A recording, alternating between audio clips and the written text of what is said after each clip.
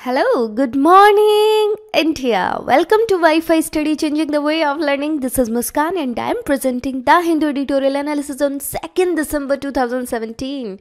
So friends, कल मैंने coat दी थी आप सबको तो कल मैंने बताया था ये दो पिक्स दिखाई थी आपको राइट पर मैंने बोला था कि देखिए चाहे आप ये पिक्स देख लो या ये पिक्स देख लो तो काफ़ी सारे स्टूडेंट ने बहुत अच्छे तरीके से इसको एक्सप्लेन किया है क्योंकि मैंने कहा था देखिए पिक्स ये सेम है लेकिन आप सबका नज़रिया अलग अलग होगा। आप चाहो तो कल की वीडियो के नीचे पूरा कमेंट बॉक्स पढ़ सकते हो। आपको पता लगेगा कि हर एक पर्सन का नज़रिया कैसे होता है चीज़ों को देखने का। इससे आपकी जो साइकोलॉजी है वो डेवलप होगी फ्रेंड्स तो देखिए कई लोगों ने कहा कि ये जो ये जो ये फ़र्स्ट इस पिक पे ज़्यादा कमेंट आए कि पतझड़ का मौसम है तो इंसान भी देखिए इस तरीके से बदलता है। तो इन, लेकिन जिस तरीके से नेचर है वो क्या है? कभी डिप्रेस्ड नहीं होती कभी उम्मीद नहीं छोड़ती तो इंसान को भी नहीं छोड़नी चाहिए। इसीलिए ये क्या वेट करता है कि नया मौसम आएगा मैं दोबारा से अपने उसी उसी खूबसूरती पर वापस आऊँगा। तो ये वाले जो पिक्स थे इस पर कमेंट किया कि जो नेचर की ब्यूटी है, वो किसी चीज़ को भी कंपेयर नहीं किया जा सकता उससे। जो नेचर की ब्यूटी है, वो अनबीटेबल है। तो जब भी हम नेचर की तरफ़ बढ़ते हैं तो ऑब्वियसली हम अपने आप को जानने लगते हैं। तो बहुत सारे अच्छे कमेंट थे। लेकिन एक दो स्टूडेंट ने ऐसा कमेंट किया जो एक्चुअली मैं एक्सपेक्ट कर रही थी फ्रेंड्स देखिए, एक मिनट के लिए सोच लीजिए कि आपकी आँखें बंद है और ये दोनों पिक्स आपके सामने हैं तो क्या ये मायने रखती है? क्या आप इन्हें देख सकते हो? क्या इस ब्यूटी को आप देख सकते हो? तो अगर ये खूबसूरती जो नेचर है, जिसको आप देख पा रहे हो, ये क्यों कैसे आप एनालाइज कर पा रहे हो? It's all because of you guys यही सारे जो फिलासफर हैं, कह के गए हैं, या जितने भी महापुरुष हुए हैं सबने ये बोला है अब समझ आ रहा है क्यों बोला है? Everything is within us हर एक चीज़ हमारे अंदर है, क्योंकि जब यूनिवर्स को बनाने वाला अगर हमारे अंदर है तो ऑब्वियसली सारी चीज़ें उसके अंदर आ गई। क्योंकि अगर हम इनको देख नहीं सकते तो हमारे लिए कोई मायने ही नहीं रखती। आप ये देखिए अगर आप मेरी आवाज़ को सुन नहीं पाते तो मैं यूट्यूब पे बोल रही हूँ, नहीं बोल रही हूँ, क्या फ़र्क पड़ता? हाँ आज भी बहुत सारे ऐसे स्पीकर्स हैं, बहुत सारे ऐसे चैनल हैं, जो अपना काम कर रहे हैं, लेकिन आप उनको नहीं सुन रहे तो मैटर ही नहीं करता। तो ये मैटर किस पे कर रहा है? आप पे मैटर कर रहा है। मुस्कान मुस्कान कुछ नहीं है। आई एम नथिंग ये डिपेंड कर रहा है आप पे, क्योंकि आप सुन पा रहे हो, आप देख पा रहे हो चीज़ों को। So everything is within us मैं जानती हूँ इस कोट को बहुत कम लोग समझ पाएँगे, क्योंकि देखिए धीरे धीरे हम सबका, सोचने का, चीज़ों को देखने का नज़रिया डेवलप हो पाता है। तो जैसे जैसे हम अपने से कनेक्ट हो पाते हैं दोस्तों, उसी तरीके से हमारा नज़रिया भी, हमारी साइकोलॉजी भी, हमारा परसेप्शन भी चेंज होता जाता है। इसीलिए मैं बार बार बोलती हूँ कि अपने आप को जितना हो सकता है, अपने से कनेक्ट करो। बाहर से कनेक्ट करोगे तो बहुत जल्दी डिप्रेशन में चले जाओगे, लेकिन अपने से कनेक्ट करोगे तो ये यूनिवर्स ये कायनात इतने राज आपके सामने खोल देगी, अपने आप को ये ओपन करना स्टार्ट कर देगी, क्योंकि आप अपने आप को टाइम दे रहे हो, आप इसको टाइम दे रहे हो। So be bold be strong and stay positive have a nice day ahead so आइए देखते हैं आज की वो कैब पहला वर्ड है ह्यू ह्यू का मतलब होता है कलर रंग कैरेक्टर एस्पेक्ट या टाइप मतलब कोई पर्टिकुलर टाइप का कैरेक्टर है या आस्पेक्ट है दैट इज़ ह्यू फिर है सीज़र सीज़र का मतलब जब्ती करना ओके कॉन्फिस्केशन करना अप्रोप्रिएशन करना या एक्सप्रोप्रिएशन करना दैट इज़ सीज़र सीज करना उस चीज़ को, जब्त कर लेना. देन है ब्रिजन ब्रिजन का मतलब होता है यहाँ पर बोल्ड कोई चीज़ है ओके okay? हिंदी में दिखा रहा है तांबे का. तो बोल्ड कोई चीज़ है शेमलेस है कोई चीज़ या अनएम्ब्रेस्ड है कोई चीज़ दैट इज़ ब्रिजन फिर है इंसिस्टेंट इंसिस्टेंट का मतलब होता है आग्रहपूर्ण. परसिस्टेंट है कोई चीज़ डेटरमाइंड है ओके okay, फर्म है या असर्टिव है. मतलब वो चीज़ सशक्त है खुद में ओके दैट इज़ इंसिस्टेंट फिर है रिवर्ट रेवर्ट रेवर्ट का मतलब होता है पलट देना किसी चीज़ को उलट देना कंप्लीटली ओके okay? यहाँ पर देखिए सिमिलर वर्ड्स इसके हैं. रिस्पेक्टेड एडमायर्ड या एस्टीम्ड तो हिंदी में कई बार देखिए बिल्कुल अलग से मतलब दिखाता है। आप गूगल पे इसको टाइप करोगे तो ये शो करेगा, उलट देना। बट इसीलिए हमें कई सारे इसके सिमिलर वर्ड्स से उसका एक्चुअल मतलब पता लगता है। तो यहाँ पर रेवर्ड का मतलब होता है, कोई चीज़ रिस्पेक्टेड है एडमायर्ड है या एस्टीम्ड है।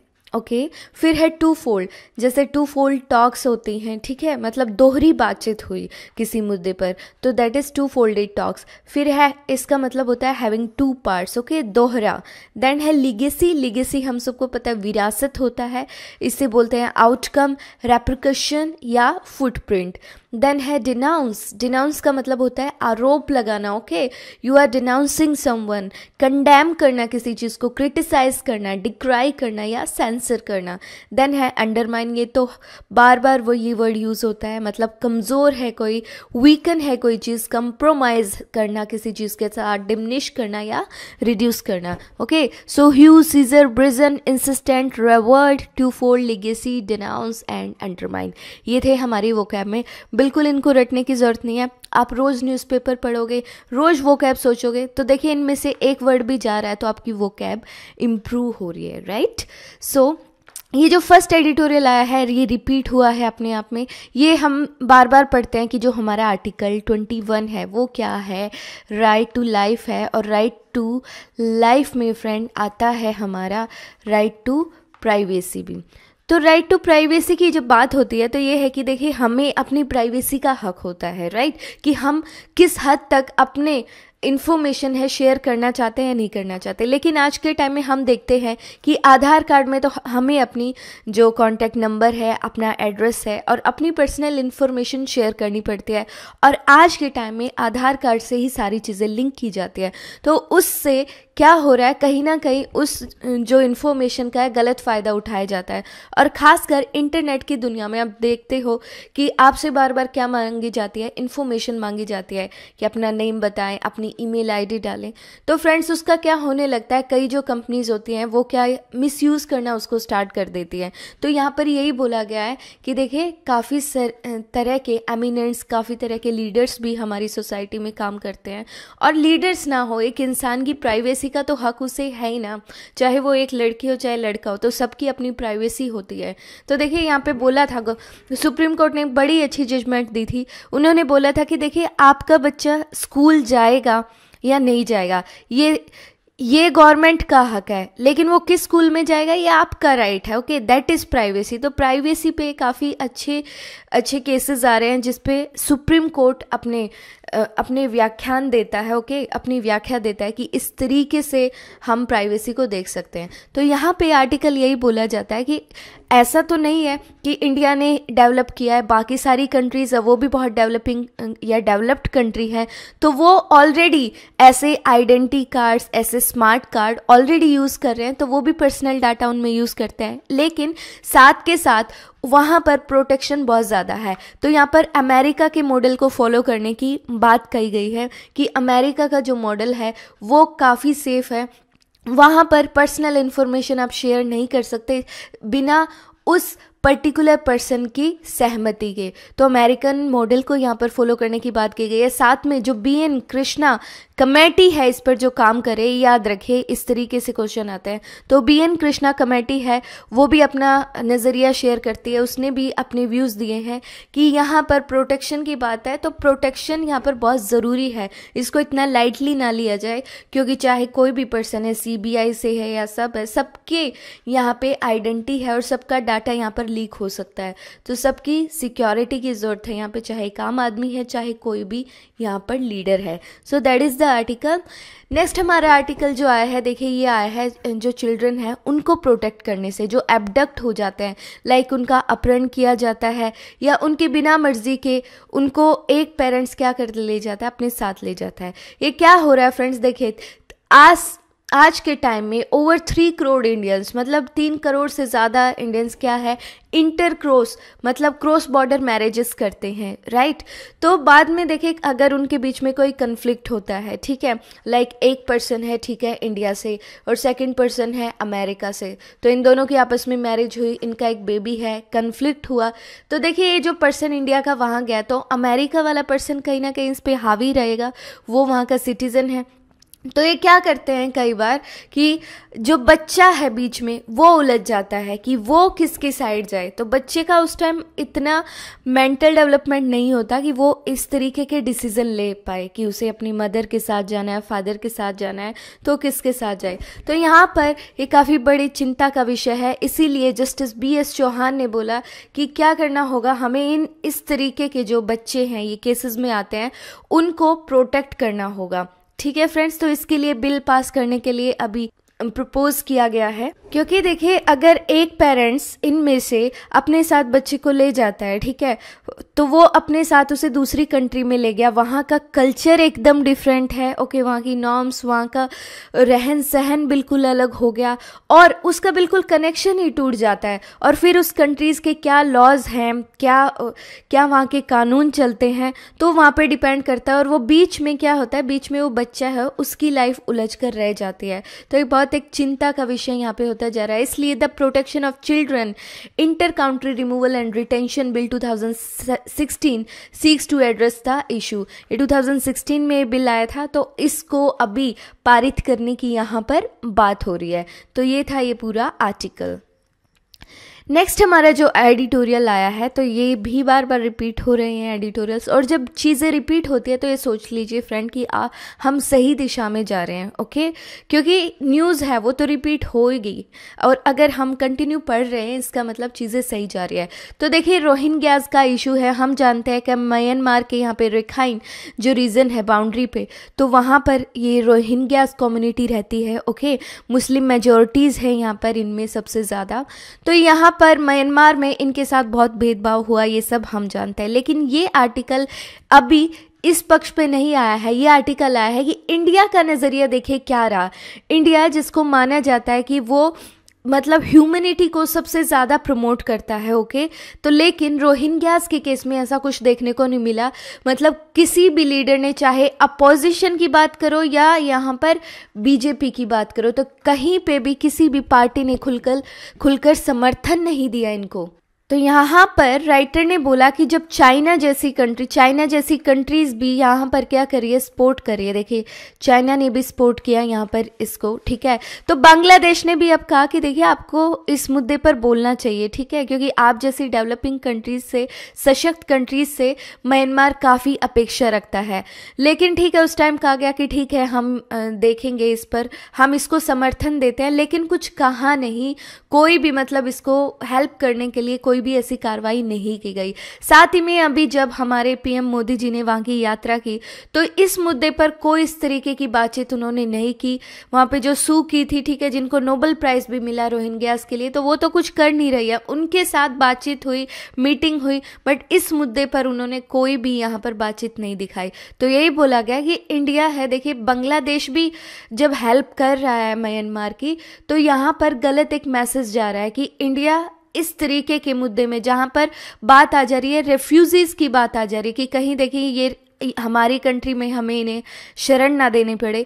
तो ये मुद्दा कल किसी भी कंट्री के साथ हो सकता है। तो क्या इंडिया उस टाइम उनको भी हेल्प नहीं करेगा? इसीलिए अपने नेबरहुड में अच्छे रिलेशंस डेवलप करने के लिए इंडिया को ज़रूरत है आगे बढ़ने की और किसी पर्टिकुलर कम्युनिटी के लिए नहीं ह्यूमैनिटी के लिए काम करने की, ऐसा आर्टिकल में कहा गया है।